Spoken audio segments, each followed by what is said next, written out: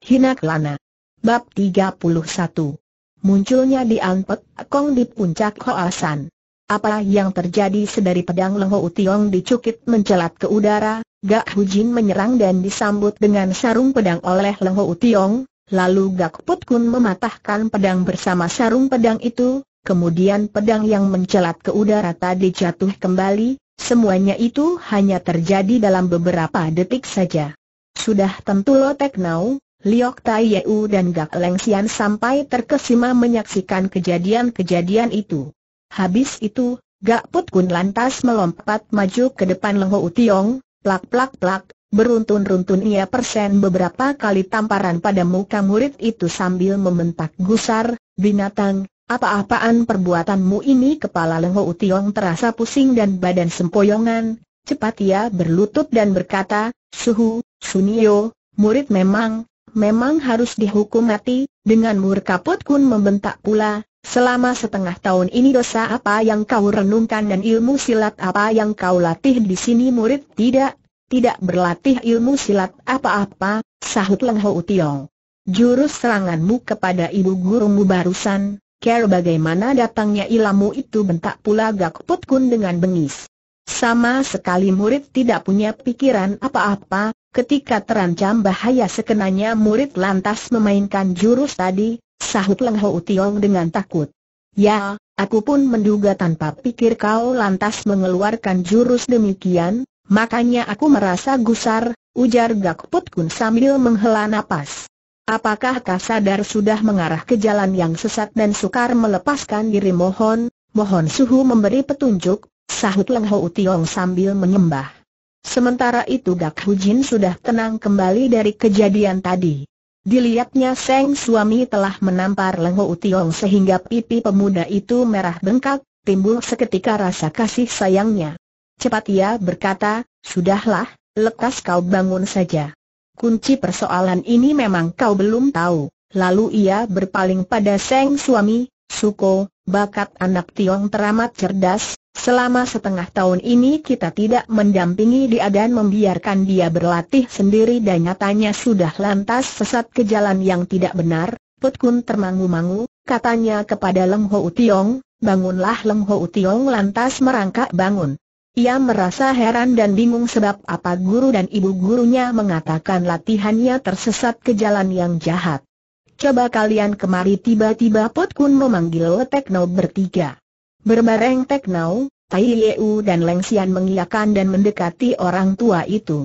Perlahan-lahan Put Kun duduk di atas batu, lalu mulai berkata, 40 tahun yang lalu, ilmu silat Loasan Pei pernah terbagi menjadi dua golongan, yaitu antara yang baik dan yang jahat, antara yang benar dan yang salah, Leng Hou Tiong dan lain-lain sama heran, pikir mereka, ilmu silat Loasan Pei tetap ilmu silat Loasan Pei. Mengapa bisa terbagi menjadi dua golongan antara yang baik dan yang jahat? Mengapa selama ini belum pernah terdengar Suhu menceritakan soal ini Lengsian yang usilan segera bertanya, Ayah, yang kita latih adalah ilmu silat yang baik dan asli, bukan sudah tentu, sahut Put Kun. Tapi golongan yang sesat itu justru mengaku pihak mereka adalah golongan yang baik dan tulen, pihak kita yang dituduh golongan yang sesat. Namun lama-kelamaan antara yang baik dan jahat dengan sendirinya tersisihkan, golongan yang sesat itu akhirnya buyar lenyap dengan sendirinya. Selama 40 tahun ini golongan mereka sudah tidak terdapat lagi di dunia ini, pantas selama ini aku belum pernah mendengar tentang hal ini, kata Leng Xian. Ayah, jika golongan yang sesat itu sekarang sudah lenyap, maka kita pun tak perlu mengurusnya lagi, kau tahu apa Omel Put Kun? Apa yang dikatakan golongan sesat itu juga bukan golongan jahat betul-betul, mereka tetap orang kita sendiri. Hanya saja titik pokok berlatih masing-masing pihak berbeda. Coba katakan, bagian mana yang pertama aku mengajarkan kepada kalian sembari bertanya sorot matanya menatap ke arah Leng Ho Tiong. Maka pemuda itu cepat menjawab, yang diajarkan lebih dulu adalah pengantar Carol mengatur napas, Dimulai dengan berlatih lewekang lebih dulu, benar, kata Put Kun. Titik pokok ilmu silat Loa San Pei terletak pada hal latihan lewekang, bila lewekang sudah jadi, maka lancarlah dalam cabang-cabang ilmu silat lainnya dan ini adalah care, tulen dari perguruan kita. Tapi di antara tokoh-tokoh angkatan tua perguruan kita dahulu ada suatu golongan yang menganggap letak inti ilmu silat kita berada pada ilmu pedang. Jika ilmu pedang sudah sempurna, biarpun lekang kurang mendalam juga cukup untuk mengalahkan musuh. Dan di sinilah perbedaan paham antara golongan yang benar dan yang sesat. Ayah, meskipun lekang sangat penting, tapi ilmu pedang juga tidak boleh diabaikan bukan demikian tiba-tiba Lengsian menimbrung. Jika hanya Luekang saja juga takkan memperlihatkan betapa hebat ilmu silat Loasan Pei kita bila tidak disertai dengan ilmu pedang yang lihai. Ya, sudah tentu kalau mungkin dua-duanya harus sempurna semuanya, hektometer, ucapanmu ini kalau kau katakan pada 40 tahun yang lalu, Mungkin kepalamu bisa segera berpisah dengan tubuhmu, jengek Gak Put Kun. Hah, hanya omong saja bisa mengakibatkan kepala berpisah dengan tubuh seru Lengsian sambil melelet lidahnya. Sungguh terlalu waktu aku masih muda, pertengkaran antara kedua golongan masih belum menentu, kata Put Kun. Jika berani mengucapkan kata-katamu tadi, bukan saja golongan yang mengutamakan lekang yang membunuh kau, bahkan golongan yang mengutamakan ilmu pedang juga akan membunuh kau. Sebab di antaranya kedua aliran itu tidak dapat disejajarkan, kau anggap pedang juga penting, itu berarti meninggikan derajat golongan pro pedang, ini dipandang sebagai durhaka yang tak terampunkan, sebenarnya buat apa dipertengkarkan, asalkan kedua pihak bertanding, bukankah segala sesuatu menjadi jelas, ujar Lengsian. Put Kun menghela napas, lalu bercerita, pada waktu itu golongan pro lekang kita berjumlah lebih sedikit. Sebaliknya para paman guru dari golongan pro pedang berjumlah banyak. Ditambah lagi pelajaran ilmu pedang memang lebih cepat, bila sama-sama berlatih 10 tahun, tentu pihak pro pedang yang lebih unggul, kalau berlatih 20 tahun, masih tetap sama kuatnya, baru sesudah lebih dari 20 tahun barulah latihan lekang akan bertambah kuat, bila sudah 30 tahun, maka kemenangan pastilah di pihak kaum lekang. Akan tetapi selama 20 tahun lebih itu sudah tentu kedua pihak akan terus bertengkar tak habis-habisnya, tapi akhirnya kaum pedang toh mengaku salah dan kalah bukan tanya Lengsian. Put Kun menggeleng kepala tanpa bicara. Selang sejenak barulah membuka suara, mereka tetap kepala batu dan ngotot tak mau mengaku kalah. Walaupun mereka telah kalah habis-habisan ketika diadakan pertandingan menentukan di Giok Li Hang sini, tapi mereka lebih suka membunuh diri seluruhnya, Leng Ho Tiong dan Gak Leng Xian sama berseru kaget mendengar keterangan itu. Kata Leng Xian, hanya pertandingan di antara sesama saudara seperguruan, apa artinya kalah atau menang, mengapa mesti menempuh jalan nekat begitu soalnya tidak begitu sederhana, ujar Put Kun. Dahulu waktu perebutan Beng Chu, ketua serikat, dari Ngo Gatiam Pei, kalau bicara tentang jumlah jago dan tingginya kepandaian, mesti Hoasan Pei kita yang menduduki tempat utama. Tapi karena bagian dalam golongan kita bertengkar sendiri, pertarungan di Giok Li Hang telah jatuh korban belasan tokoh-tokoh angkatan tua, maka kedudukan Beng Chu akhirnya kena direbut oleh Ko Sampai. Kalau dipikirkan pangkal pokok kesalahan kita adalah karena pertengkaran di antara golongan sendiri itu. Bila teringat kepada bunuh-membunuh secara kejam di antara sesama saudara seperguruan dahulu, sungguh kasihan dan mengerikan, melihat air muka gurunya berkerut-kerut, mungkin teringat kepada kejadian-kejadian mengerikan di masa lampau, tanpa merasa Leng Ho Tiong ikut ngeri. Perlahan-lahan Put Kun membuka bajunya sehingga kelihatan dadanya. Mendadak Leng Sian menjerit, aduh. Ayah, kau, kau, kiranya di dada Gak Put Kun itu terdapat satu jalur panjang bekas luka yang dari atas ke bawah. Melihat bekas luka itu dapatlah dibayangkan betapa parah lukanya waktu itu, boleh jadi jiwanya hampir saja melayang.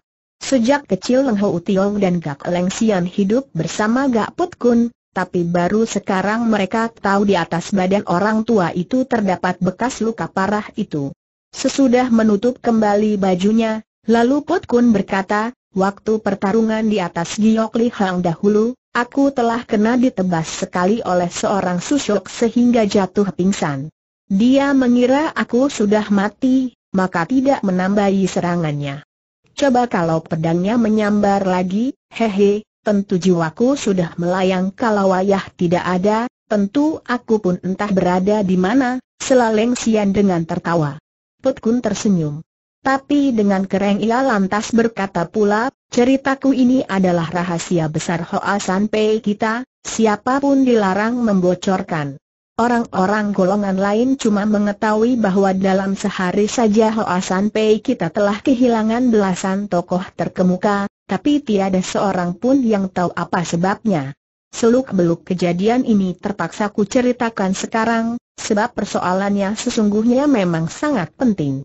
Jika anak Tiong meneruskan arah yang diambilnya sekarang, tidak sampai tiga tahun saja tentu dia akan lebih mengutamakan pedang daripada lukang, inilah terlalu berbahaya bagi kehancuran dirimu sendiri, bahkan jerih payah dengan pengorbanan para ciampu Hoa sampai kita juga akan hancur seluruhnya, Leng Ho Tiong sampai berkeringat dingin mendengarkan cerita itu, kembali ia mohon ampun akan kekurang mengertiannya itu. Tiong Ji, kira kau merebut pedangku dengan sarung pedang tadi dari mana kau mendapatkan nilamnya? Tiba-tiba Gak Hujin bertanya. Seketika itu yang murid pikirkan adalah menangkis serangan ibu guru yang mahaliai, sama sekali tak mengira bahwa, bahwa, ya, soalnya sekarang kau tentu sudah paham, ujar Gak Hujin. Walaupun jurusmu tadi sangat bagus, tapi begitu kebentur dengan lekang suhumu yang maha tinggi, betapa bagus jurus seranganmu juga tak berguna lagi. Dahulu ketika pertandingan di atas Giok Li Hang ini, entah betapa hebat ilmu pedang pihak yang mengutamakan permainan pedang itu, tapi berkat Chi Hisin Kang yang telah diyakinkan oleh kakek gurumu, belasan jago dari pihak pro pedang itu semuanya dikalahkan olehnya. Maka mulai sekarang hendak kalian camkan petua gurumu tadi. Inti ilmu silat golongan kita terletak pada lekang, ilmu pedang hanya sebagai ikutan saja. Jika latihan lekang gagal, betapapun tinggi ilmu pedangmu juga tiada gunanya, Leng Ho Tiong, Lo Tekno dan lain-lain sama membungkuk tubuh menerima petuah itu. Lalu Gak Put Kun bicara lagi, Tiong Ji, mestinya hari ini aku akan mengajarkan pengantar Cihisin Kang padamu. Habis itu akan membawa kau turun gunung untuk membunuh jahanam di Anpek Kong. Tapi urusan ini sekarang harus ditunda dahulu, selama dua bulan hendaknya kau mengulangi pelajaran lekang yang pernah kuajarkan sebelumnya, buanglah segala ilmu pedang yang aneh-aneh dan menyesatkan itu, kemudian aku akan menguji kau lagi, ingin kulihat ada kemajuan atau tidak, sampai di sini mendadak nadanya berubah bengis, tapi jika kau tetap tak mau insaf dan masih terus mengarah ke jalan yang sesat, maka, hehe, janganlah kau menyesal bila mesti terima akibatnya, ya, murid pasti tidak berani lagi, sahut Leng Ho Tiong. Dan kau, anak Sian dan Tai Yeu, watak kalian juga kurang sabar, apa yang kukatakan tadi kalian juga harus ingat baik-baik, demikian seru Gak Put Kun pula. Liok Tai Yeu mengiyakan dengan hormat. Sebaliknya Leng Xian menjawab, meski aku dan Laksuko berwatak tidak sabaran, tapi kami tidak secerdas Toa Suko, mana mampu menciptakan ilmu pedang apa segala hektometer, tidak mampu. Bukankah kau dan Tiong Ji pernah ingin menciptakan Tiong Leng Kiam Hoat segala jengek Put Kun? Muka Leng Ho Tiong dan Leng Xian sama berubah merah. Cepat Leng Ho Tiong minta ampun pula. Sedangkan Leng Xian berkata lagi, itu adalah kejadian yang sudah sangat lama, tatkala mana kami hanya main-main saja. Dari mana ayah mendapat tahu sebagai Chiang Bun Jin, kalau gerak-gerik anak muridnya saja tidak tahu, lalu apa jadinya Hoa San Pei kita dengus Put Kun? Melihat nada dan sikap sang guru itu sungguh-sungguh dan kering, kembali Leng Ho Tiong terkesiap pula. Tentang ilmu silat golongan kita, asal sudah mencapai tingkatan sempurna, setiap gerakan ringan saja sudah cukup untuk merobohkan orang, kata Put Kun pula sambil berbangkit. Orang luar mengira Hoa San Pei kita terkenal dengan ilmu pedang saja, sebenarnya pandangan demikian terlalu menilai rendah kita, habis berkata mendadak lengan baju kirinya mengebas sekali, di mana tenaganya tiba, sekonyong-konyong pedang yang tergantung di pinggang Liok Tai Yeu meloncat keluar dari sarungnya. Ketika lengan baju kanan Gak Put Kun mengebas pula ke batang pedang itu, terdengarlah krek-krek beberapa kali, kontan pedang itu patah menjadi beberapa bagian. Keruan kejut Leng Ho Tiong dan lain-lain tak terkatakan. Gak Hujin yang siang malam berdampingan dengan Seng suami juga tidak tahu tingkatan lekang suaminya itu ternyata sudah sedemikian tingginya. Sungguh ia pun kagum luar biasa. Marilah berangkat kata Put Kun. Bersama istrinya segera mereka turun dari puncak itu diikuti oleh Lord Teknau dan lain-lain. Sambil memandangi kedua batang pedang yang sudah patah-patah itu, kejut dan girang pula hati Leng Ho Tiong. Pikirnya, Kiranya ilmu silat Loa San Pei sendiri sedemikian lihainya, setiap jurus serangan yang dilontarkan suhu rasanya tiada seorang pun yang mampu menangkisnya. Ukiran-ukiran di dinding gua belakang itu mengatakan seluruh ilmu silat dari Ngo Gak Tiam Pei telah kena dipatahkan dan dihancurkan orang, namun nama kebesaran Ngo Gak Tiam Pei buktinya tetap harum sampai sekarang dan menjagoi dunia persilatan. Kiranya masing-masing golongan memiliki dasar hikang, luwekang, yang hebat sehingga orang lain tidaklah gampang hendak mengalahkannya. Teori ini sebenarnya mudah dimengerti, tapi aku sendirilah yang telah kebelinger. Sama-sama sejurus Yeu Hang Legi, tentu saja sangat berbeda dalam permainan Lim Sute dan Suhu. Serangan Toya menurut ukiran dinding itu dapat mematahkan serangan jurus Yeu Hang Legi, tapi tidak mungkin dapat menangkis serangan suhu dalam jurus yang sama. Setelah memecahkan soal ini, rasa kesalnya selama beberapa bulan ini seketika tersapu bersih. Walaupun tadi gurunya tidak jadi mengajarkan Chi Hisin Kang dan juga tidak menjodohkan Leng Xian kepadanya, namun sekarang Leng Ho Tiong tidak merasa lesu lagi, sebaliknya kepercayaannya terhadap ilmu silat perguruan sendiri telah pulih kembali, semangat terbangkit seketika. Walaupun kedua pipi yang ditampar oleh gurunya tadi masih terasa sakit, tapi diam-diam ia merasa bersyukur sang guru keburu menyadarkan dia sehingga tidak sampai dia tersesat dan menjadi orang berdosa bagi perguruan sendiri. Segera ia membuang segala pikiran yang tidak-tidak dan duduk bersimpuh memusatkan pikiran. Petang besoknya Liok Tai Yeo mengantarkan daharan padanya, dia memberitahu bahwa pagi tadi sang guru dan ibu guru telah berangkat ke Siam Sai Utara. Leng Hao Tiong rada heran. Ia tanya mengapa kedua orang tua itu ke sana? Dian Pekong telah pindah tempat dan berbuat kejahatan pula Dian An, tutur Tai Yeu. Maka taulah Leng Hao Tiong. Ia pikir bila guru dan ibu gurunya sudah tampil ke muka, tentu Dian Pekong sukar lolos dari ajalnya. Tiba-tiba ia merasa sayang juga. Ia merasa di Kong itu memang pantas binasa sesuai ganjaran atas kejahatannya, tapi ilmu silatnya sesungguhnya juga amat tinggi, sifatnya juga cukup jantan seperti apa yang telah dialaminya di Cui Sian Lo tempo hari. Cuma sayang apa yang diperbuatnya selalu hal-hal yang jahat sehingga menjadi musuh bersama kaum persilatan. Dua hari selanjutnya Leng Ho Tiong giat belajar luakang, dia telah menyumbat kembali lubang yang menembus ke gua belakang itu. Jangankan pergi melihat ukiran-ukiran dinding itu, bahkan berpikir saja tidak berani lagi.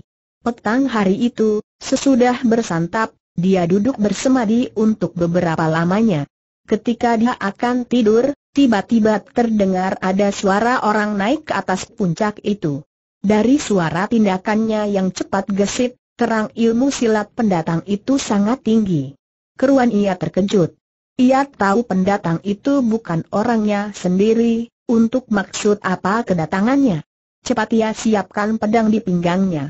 Dalam pada itu, pendatang itu sudah sampai di atas puncak dan sedang berseru, Leng Ho Tiong, sahabat lama yang datang ini Leng Ho Tiong terperanjat. Ternyata pendatang itu bukan lain adalah Ban Litok Heng di Pek Kong. Padahal guru dan ibu gurunya sedang pergi mencarinya, tapi sekarang dia malah datang ke Hoasan. Segera Leng Ho Tiong memapak keluar dan menjawab dengan tertawa, Sungguh tidak nyana atas kunjungan di Angheng ini Dian Pekong membawa sebuah pikulan. Dari kedua keranjang bambu pikulannya telah dikeluarkannya dua guci arak. Katanya dengan tertawa, kabarnya Leng Hou Heng sedang meringkuk dalam penjara di puncak Hoasan sini, tentu mulutmu sudah ketagihan, maka dari tiangan aku sengaja mengambilkan dua guci arak simpanan 130 tahun lamanya untuk dinikmati bersama Leng Hou Heng. Leng Hou Tiong coba mendekati, di bawah sinar bulan dapat dilihatnya di luar kedua guci itu memang ada kertas etiket Tisian Lo, yaitu nama sebuah restoran terbesar di kota Tiang'an. Dari kertas etiket itu serta lak yang membungkus rapat mulut guci dapatlah diketahui memang barang simpanan lama sekali.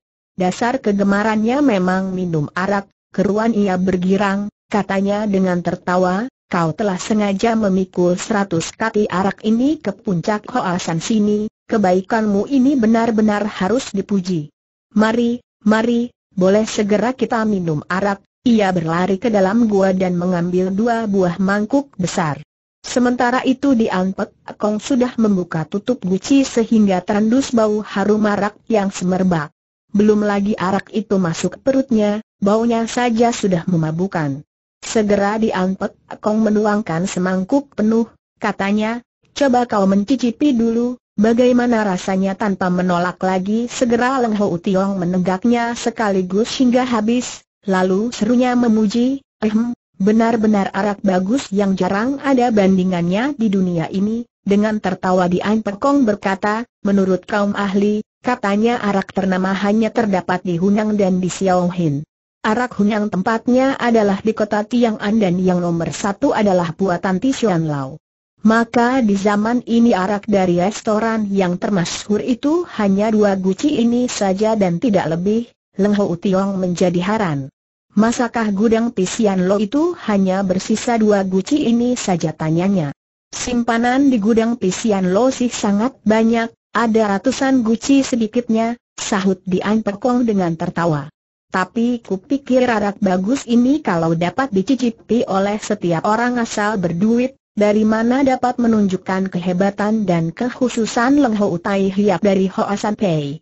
Maka dari itu segera ku kerjakan, hanya sebentar saja guci-guci di gudang restoran itu sudah hancur berantakan dan terjadi banjir arak, Leng Ho Tiong terkejut dan geli, tanyanya cepat, Hi, jadi Dian Heng telah menghancurkan seluruh isi gudangnya ya, makanya di dunia sekarang ini hanya tinggal dua guci ini saja, dengan demikian barulah kelihatan oleh-oleh ini ada harganya bukan? Hahaha terima kasih, terima kasih kata Leng Ho Tiong sambil menuang semangkuk dan menegaknya habis. Padahal Dian Heng telah sudi memikul kedua guci arak ini ke puncak Hoasan sini, jerih payah ini saja sudah pantas untuk dihargai setinggi-tingginya. Jangankan yang dibawa ini adalah arak nomor satu di dunia, sekalipun cuma air tawar juga membuat Leng Ho Tiong sangat berterima kasih. Bagus, laki-laki sejati, jantan tulen seru di Pek Kong sambil mengacungkan jari jempol. Mengapa di Heng memuji tanya Leng Ho Tiong? Kau tahu orang si Dian ini adalah maling cabul yang dapat berbuat kejahatan apa pun juga, setiap orang Hoa San Pei semuanya ingin membunuh diriku juga. Tapi sekarang ku bawa arak untukmu dan Leng Hou Heng telah minum tanpa curiga apakah arak ini berbisa atau tidak. Maka aku bilang hanya laki-laki sejati yang berjiwa besar saja yang ada nilainya untuk minum arak nomor satu ini. Ah, Dian Heng terlalu memuji saja. Kita sudah dua kali bergebrak, aku sudah tahu perbuatan Dian Heng memang tidak senonoh, namun ku yakin perbuatan pengecut pastilah tidak sudi dilakukan oleh Dian Heng. Padahal ilmu silat Dian Heng jauh lebih tinggi daripadaku, bila benar-benar ingin mencabut nyawaku dapatlah dilakukan dengan mudah, buat apa mesti pakai racun apa segala hahaha, benar juga ucapanmu, seru diampek Kong sambil terbahak. Tapi apakah kau mengetahui bahwa kedua guci arak ini tidak kubawa langsung dari Tiangan, tapi lebih dulu aku telah mampir ke daerah Siam Sai untuk melakukan beberapa perkara, habis itu baru naik ke San sini Leng Ho Tiong terkesiap, ia tidak mengerti apa arti ucapan Dian Pekong itu. tapi setelah direnung sejenak segera ia paham duduknya perkara. Katanya, oh, kiranya Di An Heng sengaja membuat beberapa perkara untuk memancing keberangkatan guru dan ibu guruku, lalu kau dengan bebas dapat datang kemari. Dian Heng sengaja menggunakan tipu pancingan ini, entah apa maksud tujuanmu boleh Leng Ho Heng coba menerkanya, sahut Dian Pekong dengan tertawa. Baik, kata Leng Ho Tiong. Lalu ia menuang semangkuk arak pula dan menyambung, Dian Heng, kau adalah tamu, di gunung sunyi ini tidak ada sesuatu yang dapat kusuguhkan, biarlah ku pinjam arakmu ini untuk menyuguhkan kau semangkuk. Terima kasih, sahut Dian Pekong. Lalu mereka bersama-sama menghabiskan semangkuk arak. Mereka sama tertawa, saling memperlihatkan mangkuk masing-masing yang sudah kosong.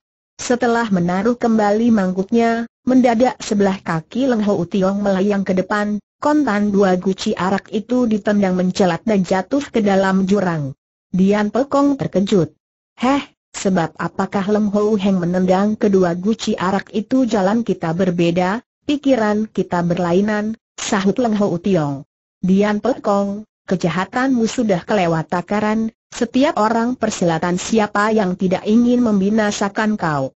Leng Ho Tiong menghormati kau karena sifatmu yang tidak terlalu pengecut, makanya sudi minum tiga mangkuk arak bersama kau. Persahabatan kita sampai di sini juga sudah berakhir, jangankan cuma dua guci arak, Biarpun segala benda mestika di dunia ini kau taruh di depanku juga tak dapat membeli persahabatanku kepadamu. Seret, mendadak ia lolos pedang dan berseru pula, di Pekong, biarlah sekarang aku belajar kenal pula dengan ilmu golokmu yang hebat itu. Namun di Pekong tidak melolos goloknya, dia tersenyum sambil menggeleng, katanya, Leng Ho Heng, ilmu pedang Hoasan Pei kalian memang hebat, cuma usiamu masih muda, pelajaranmu belum sempurna. Jika kita mesti main senjata, betapapun kau bukan tandinganku, teringat kepada kejadian dahulu, Leng Ho Tiong sadar dirinya memang bukan tandingan maling cabul ini, kalau dahulu tidak menggunakan tipu akal mungkin jiwanya sudah melayang di tangannya. Segera ia mengangguk, katanya, ucapan Dian Heng memang betul. Dalam sepuluh tahun ini aku memang tidak mampu membinasakan Dian Heng. Habis berkata, krek, ia kembalikan pedang ke dalam sarungnya. Hahaha. Orang yang tahu gelagat adalah jantan sejati seru di Ampek Kong. Leng Hao Tiong adalah kaum keroco saja, dengan susah payah Dian Heng datang kemari, mungkin tujuanmu bukan hendak mengambil buah kepalaku ini. Tapi hendaklah maklum bahwa kita adalah lawan dan bukan kawan, Apa pun kehendak Dian Heng sama sekali takkan ku terima, belum lagi aku bicara sudah lebih dulu kau tolak, kata Dian Pekong dengan tertawa. Betul, sahut Leng Ho Tiong. Tak peduli apa kehendakmu pasti bertolak belakang seluruhnya. Aku memang bukan tandinganmu, terpaksa harus kabur saja. Selamat tinggal habis berkata segera ia berlari ke belakang tebing sana. Namun dia An Pekong terkenal dengan ginkang yang tinggi dan jarang ada bandingannya, oleh karena itulah selama ini dia dapat bergerak bebas meski sering digerebek oleh jago-jago persilatan dari berbagai aliran. Maka begitu Leng Ho Tiong memutar tubuh, gerakan di An Pekong ternyata lebih cepat pula, tahu-tahu dia sudah mengadang di depannya. Meskipun Leng Ho Tiong beberapa kali putar haluan, tapi selalu dia kena dihalangi. Tidak dapat lari, terpaksa berkelahi, seru Leng Ho Tiong sambil lolos pedang. Marilah kita coba-coba lagi, di Heng, tapi aku pun akan berteriak minta bala bantuan, jika gurumu datang kemari, terpaksa akulah yang akan kabur, ujar Pekong dengan tertawa. Namun Gak Sian Sing dan Gak Hujin sekarang berada beberapa ratus li jauhnya, terang mereka tidak keburu datang menolong kau. Sedangkan para sutemu itu walau berjumlah banyak toh takkan berguna meski kau panggil ke sini, yang lelaki jiwanya akan melayang percuma, yang wanita, hehe, malahan kebetulan bagiku, mendengar ucapan terakhir itu, Leng Ho Tiong terkesiap. Ia pikir apa yang dikatakan maling cabul itu memang betul, para sutenya terang bukan tandingan Dian Pekong, Sebaliknya Xiao Sumuainya yang cantik itu bila dilihat di An Pekong tentu akan menjadi korban keganasannya pula. Dasarnya Leng Ho Tiong memang cerdik dan banyak tipu akalnya, segera ia mengambil keputusan, paling baik sekarang harus main pokrol saja untuk mengulur waktu, tak bisa menang dengan kekerasan, terpaksa harus mengalahkannya dengan akal. Asalkan diulur dan ditunda sampai guru dan ibu gurunya sudah pulang nanti tentu keadaan akan dapat diselamatkan. Maka katanya kemudian sambil angkat bahu, baiklah, memangnya berkelahi aku pun tak bisa memang, lari juga tak dapat, panggil bala bantuan juga gagal, ya, apa mau dikata lagi, Leng Ho Heng, kata Dian Perkong dengan tertawa, harap kau jangan salah sangka bahwa aku akan membuat susah padamu, padahal kedatanganku ini sangat berguna bagimu, aku percaya kelak kau tentu akan merasa terima kasih padaku, Dian Heng adalah maling cabul yang buruk nama, tak peduli urusan ini akan berfaedah bagiku atau tidak, pendek kata aku takkan sudi menjadi begundalmu, sahut Leng Ho Tiong. Memang betul aku adalah maling cabul yang maha jahat, sebaliknya Leng Ho Heng adalah kesatria muda terpuji dari Hoa San Pei sudah tentu kita tak bisa bergaul bersama. Tapi kalau tahu begini kenapa dahulu dilakoni? Apa artinya dahulu dilakoni? Tanya Leng Ho Tiong. Habis, ketika di Cui Sian Lo dahulu kita malah minum bersama semeja dengan akrab sekali, hanya minum bersama saja. Apa artinya, dalam sejarah juga tidak kurang kaum pahlawan minum bersama musuh, misalnya Lopi dan Chocho di zaman Sam Kok, dan malahan di rumah pelacuran Kun Giok Ih kita juga pernah main perempuan bersama, demikian Pekong menambahkan. Cis, jengek Leng Ho Tiong, tatkala itu aku dalam keadaan terluka parah, mana bisa dikatakan main perempuan segala akan tetapi di rumah pelacuran itulah Leng Ho Heng telah tidur satu ranjang bersama kedua nona yang cantik jelita itu, hati Leng Ho Tiong tergetar. Teriaknya, di An Pekong, hendaklah mulutmu dijaga bersih sedikit. Leng Hao Tiong selamanya menjaga harga diri, kedua nona itu lebih-lebih suci bersih. Jika kau sembarangan ngomong secara kotor lagi, terpaksa aku tidak sungkan-sungkan pula, apa gunanya kau tidak sungkan padaku sekarang? Jika kau ingin menjaga nama baik Hoa San Pei, tatkala itu seharusnya kau berlaku sungkan dan menghormati kedua nona itu. Tapi mengapa secara terang-terangan di hadapan tokoh-tokoh Jing Siapi dan Heng San Pei kau tidur satu ranjang dan main gila dengan kedua nona itu? Hahaha keruan Leng Ho Tiong sangat gusar, kontan ia menghantam ke depan. Namun dengan tertawa di An Pekong telah mengelak. Katanya, apa yang terjadi itu tak mungkin disangka olehmu, bukti menjadi saksi. Kalau tempo hari tidak main gila terhadap mereka, Mengapa sekarang mereka rindu padamu? Diam-diam Lengho Utiong pikir tiada gunanya bertengkar mulut dengan bajingan yang hina ini, kalau bicara terus bukan mustahil segala kata-kata kotor juga dapat diucapkan olehnya. Waktu di Cui Sian Lo Tempo dulu dia telah tertipu, kejadian itu merupakan suatu penghinaan yang memalukan baginya, hanya dengan kejadian itulah baru dapat menyumbat mulutnya. Maka mendadak ia tertawa malah dan berkata, Aha, kukira ada keperluan apa di Heng datang ke sini, tak taunya adalah perintah guru musi Nikoh Cilik Gilim yang mengirimkan dua guci arak padaku untuk membalas budiku karena aku telah mencarikan seorang murid baik baginya. Hahaha sekilas muka di An Perkong berubah merah. Sahutnya kemudian, kedua guci arak itu adalah oleh-olehku sendiri. Hanya saja kedatanganku ke Hoasan sini memang benar ada hubungannya dengan Gilim Xiao Suhau, kalau panggil Suhau ya Suhu saja, mengapa pakai Xiao, cilik, segala? Seorang laki-laki sejati sekali sudah omong harus pegang janji. Memangnya kau hendak menyangkal? Gilim Sumuai adalah murid Hing San Pei yang ternama, adalah beruntung sekali jika kau dapat mengangkat seorang guru seperti dia. Hahaha sekarang di Perkong yang murka, segera ia hendak mencabut golok, tapi dapatlah ia menahan perasaannya, katanya dengan dingin, Leng Ho Heng, kepandaian silatmu kurang sempurna, tapi kepandaian mulutmu benar-benar lihai, ya, main hantam tidak dapat menandingi Dian Heng, terpaksa mencari jalan melalui mulut, sahut Leng Ho Tiong dengan tertawa. Adu mulut aku terima mengaku kalah saja. Sekarang silakan Leng Ho Heng ikut berangkat padaku, tidak, tidak mau. Biarpun aku dibunuh juga tidak mau apakah kau tahu ke mana aku hendak membawa kau tanya di Anpek Kong. Tidak tahu sahut Leng Ho Tiong. Pendek kata, apakah kau akan bawa aku naik ke langit atau masuk ke bumi, tetap aku tidak sudi ikut pergi, sesungguhnya aku hendak mengundang Leng Ho Heng pergi menjumpai Gilim Xiao Suhau, kata Dian Pekong akhirnya. Leng Ho Tiong terkejut. Hei, eh, kiranya Gilim Sumoai kembali jatuh ke dalam cengkeramanmu lagi serunya. Sungguh kurang ajar sekali kau, berani berlaku tidak senonoh kepada gurunya sendiri Dian Pekong menjadi gusar. Jawabnya, guruku ada orangnya tersendiri, bila ku terangkan tentu kau akan kaget setengah mati.